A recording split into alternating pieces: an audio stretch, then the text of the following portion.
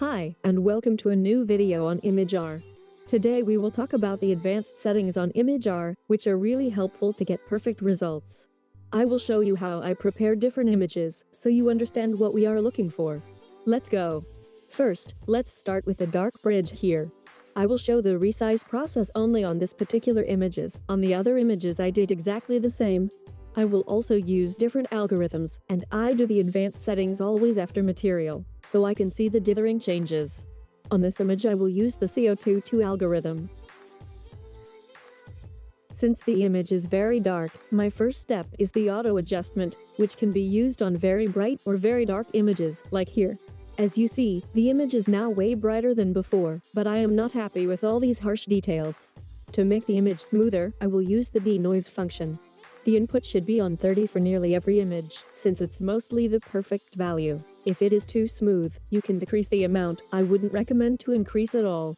As you see for example on the wood handling of the bridge, it is way smoother now, also the ground has not these harsh details anymore. If you zoomed in and moved the image, you can click on reset position to bring it back to normal. Now we can preview the image on our material with the preview function underneath the main buttons. Looks already pretty good, but I think it is still too dark. So I will increase now the gamma value to make dark pixels brighter, but leave the white pixels on the same brightness as before. If you preview it now again and wait till the image is loaded, you will see it is now a little brighter. I am happy with this and will start with the next image. The white horse is pretty much the opposite as before. Most details are way too light, so we won't see them well on our engraving. On this image I will use the Norton Wood algorithm.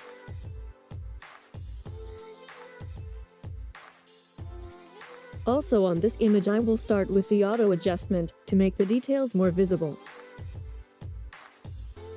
Now I will increase the brightness a little. My focus is right now on the back of the horse, since in my opinion it should be the brightest area on this image. I will increase it again, so it gets some areas with no pixels at all, but the shape of the horse should be still visible.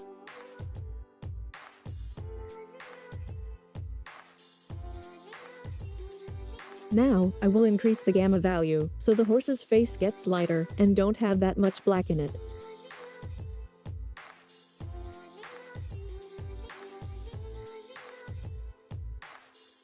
On the preview you see that the building in the back is still pretty visible, which is good. We don't want to lose this detail. I am happy with it and we'll start with the next image. On this car you can see this great clouds, which could be difficult to engrave properly. I will use the CO2 algorithm for this image. First, I will decrease the gamma value to make white pixels darker but leaving the black pixels the same. I will decrease the contrast to make the black areas less harsh. I will also decrease the brightness, so there's not too much difference between the whites and blacks anymore especially on the clouds. Unfortunately the car looks now too grayish, so I will change the brightness nearly back to normal. We have some weird artifacts on the clouds, especially in these area. Also they look too harsh and not really cloudy. We can fix that pretty easy with the denoise function. As you see, we have now some to white spots in the clouds, so the brightness decrease before wasn't that wrong. Let's do it again. Now we have to denoise again to fix the artifacts again. Looks good, but the whole image is a little too dark now. We can increase the gamma value to make the whites more white again. Since this will also create artifacts, you guessed it, denoise. Now I am pretty satisfied, let's check the preview. Looks perfect to me, so let's move on. On this girl I will use the Martian algorithm. There's not much to do.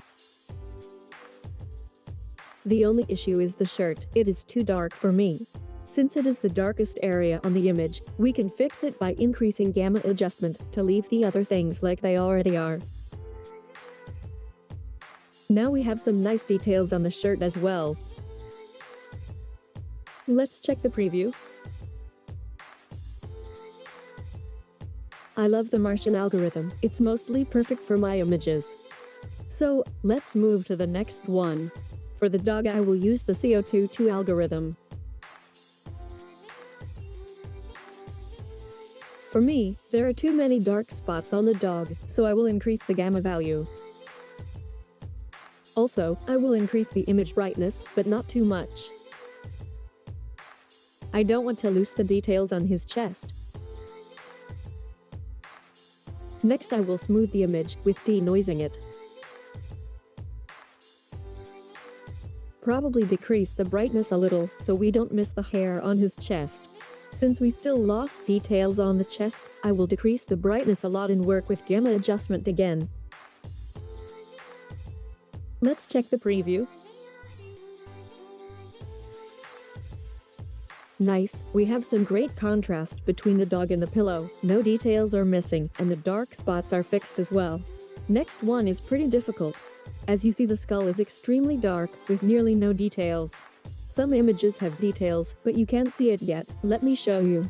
I will crop first, because I don't need the completely black areas. Then I will do a quick resize to my preferred size. I will use the CO22 algorithm.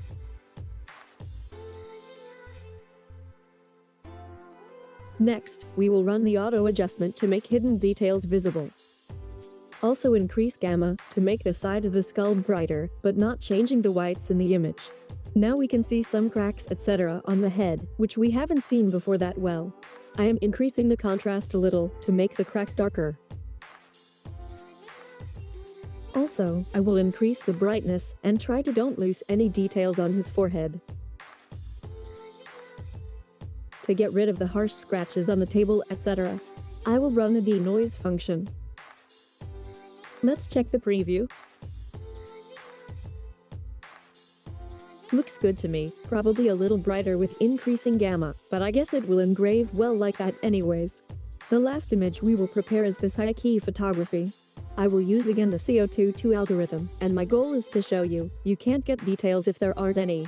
As you see, the cheek has on one side exactly the same color as the background.